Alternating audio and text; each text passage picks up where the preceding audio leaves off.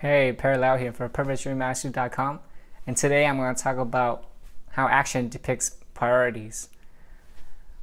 As a way to reach out to my network and stay connected with my network is I reached out to them personally on a bi-monthly basis.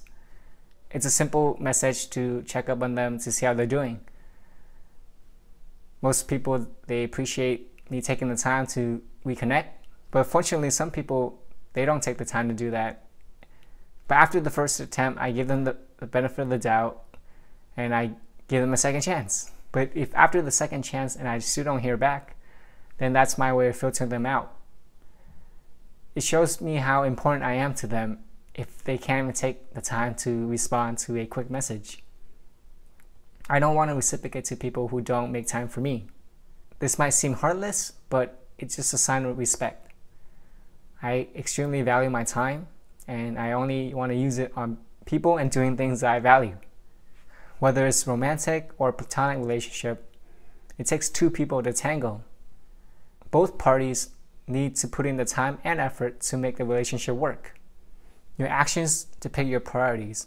Everyone has 24 hours a day. Hopefully you spend 8 hours sleeping and the other 16 doing whatever you want. But you go to work because it's important to you. It gives you money, hopefully joy as well. What you spend outside of work also depict your other priorities. If health is important to you, then you will go to the gym, eat healthy, meal prep. And if you value relationships, then you will spend time with your family, with your loved ones, and your significant other. But if you value work, then you might stay later, work on your side business, your actions always speak louder than words. The people that you meet, unfortunately, will say things that you want to hear because they don't want to upset you, don't want to create conflict. And in my personal experience, I learned to trust their actions, not their words. It is difficult to remove people from your life, but like I said before, it's a sign of self-respect. By removing those people who don't value you, you have more time to create more meaningful relationships with people who do. You can even use that time to pick up a hobby, work on a skill that you have been putting off. The opportunities are endless. Don't treat people as a priority if they're only treating you as an option. Back to the message example, if they don't even have that small amount of time to send back a message, how important are you in the relationship?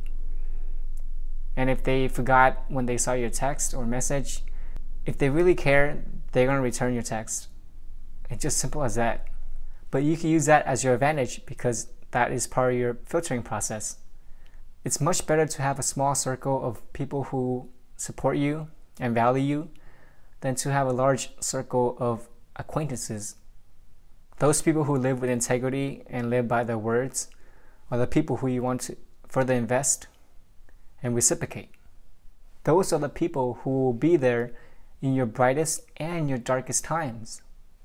Your actions speak your utmost priorities in life. That's why we do what we do. A man's action always speaks his truth. If there are people who are important to you in your life and you're not taking the action to back that up, you might regret it one day because they're not going to be here forever.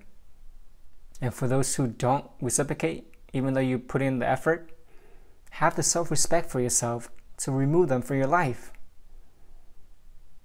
If you truly love yourself, will you put up with someone who doesn't value you? You attract who you are, not what you want.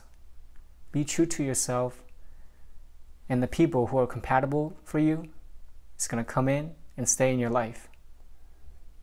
Be persistent and consistently take action to become the person that you want to be and create the life that you want. Now, if you have any questions about living with integrity, removing the wrong people from your life, please leave a comment below. And I love hearing from you all. Till next time, bye.